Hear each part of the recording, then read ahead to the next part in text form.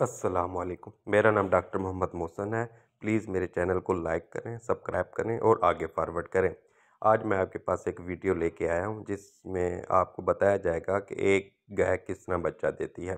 सबसे पहले गाय की पेन शुरू होती है। जैसे ही पेन शुरू हो, आपने बच्चे को चेक करना है कि उसकी पोजीशन सही हो। उसके बाद आपने जैसे गाय बच्चा दे, आपने बच्चे को उल्टा करना है। उसके नाक से, कान से म्यूकस निकालना है। और उसके फेफड़ों को दबाना है।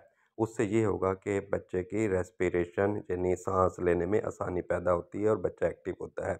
उसके बाद आपने तीस मिनट के लिए माँ और बच्चे को छोड़ देना है। माँ जिस तरह बच्चे को चाटेगी, उससे बच्चा और एक्टिव होगा, भागेगा और एक्टिव हो जाएगा और सेहतमंद होगा। उसके बाद आपने बच, माँ को रवीवा देना है, जिस तरह वीडियो में आपको दिखाया गया है।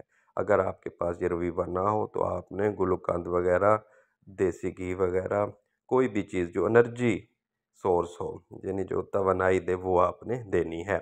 उसके बाद आपने माँ की मिल्किंग करनी है और एक घंटे के अंदर अंदर आपने बच्चे को कलास्टम देना है और उसके बाद आपने जो बच्चे की नाफ है उसे भी आपने पाँच परसेंट पायोडीन से आपने डिसइंफेक्टेंट करनी है।